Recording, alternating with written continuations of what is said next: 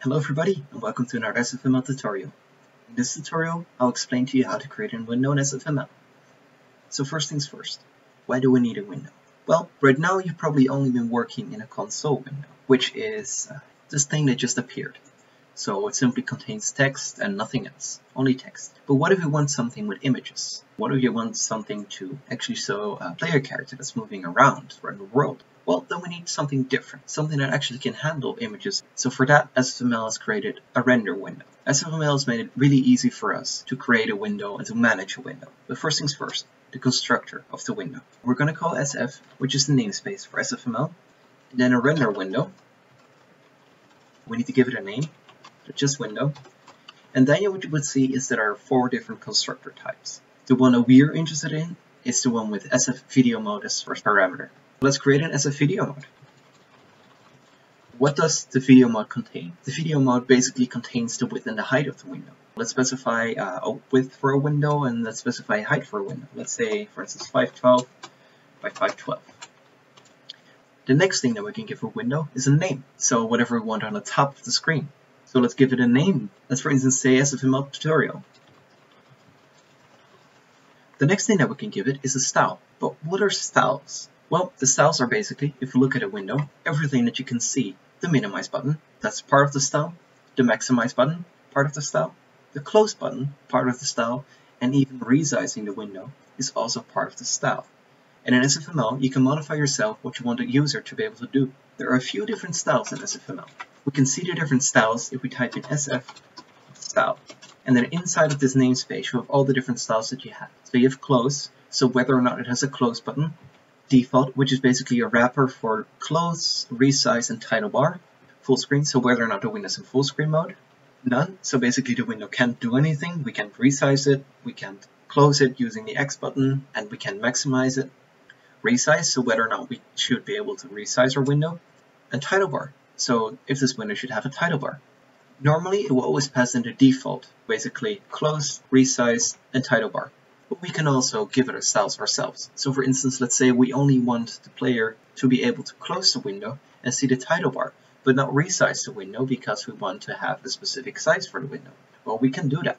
Let's actually do that right now. What we need to do is we need to go to this parameter, the third one, which need an SFUN32 style, and then we can pass in SF style close, and then using a single strike down, which you might know from the OR, which is a double strike down, we can pass multiple things in as one. This is called a bitwise OR, and I'll explain more about that in my C++ tutorials. And using this, we can also pass in an SF, an style for title bar. So now it's time to create the game loop. Since if we now run this code, it will simply open a window and instantly close it, because we never specified a game loop. So in order to create a game loop, we need to create a while loop within there, a statement, window that is open. And basically what this will do if you just run it, is give us a window that we can't move, so I can't move it off of my face. That's because they haven't specified events. Right now I'm just going to step through the basics that we need for the events, and in the next episode I'm going to explain to you what all the different events are. So in order to make it so we can move the window, we need to create another while loop. Within there, window.poll event. And what poll event needs, as you can see, is an SF event. So we need to create an SF event uh, called EVNT or whatever you want, but don't call it event because event is a reserved keyword. If I just type in event, you will see that it will light up blue. That's because it's already used by C++. So now we can pass in the EVNT, which is an event.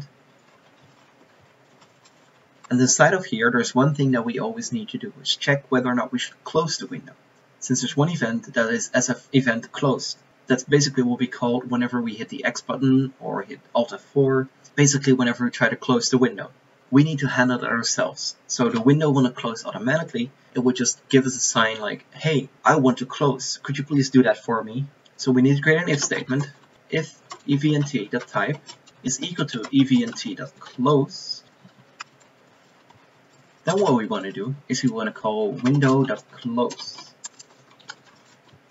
Now if we run the program again, you will see that we have a window which is still completely white that we can move around. So we can drag it around but we cannot resize it because we specified that we did not want to resize. We only want to be able to close it and see the title bar.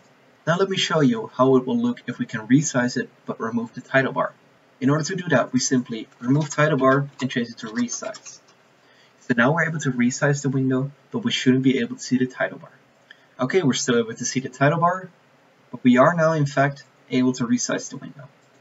What you will see is something a little weird with the white box and the black box next to it. That's because we're not clearing the screen, we're not drawing anything to it, so it will always just be the default color. So if we just drag it around, you will see that if we if we make it smaller, then the white box, which was uncleared before, will I change it to something that is cleared, which is uh, by default a black color. But we're going to learn about that more in a later episode when we're actually going to draw something to the screen. That was basically it for this episode. In the next episode, I'm going to talk to you about the different events that you have. So thanks for watching and see you next time.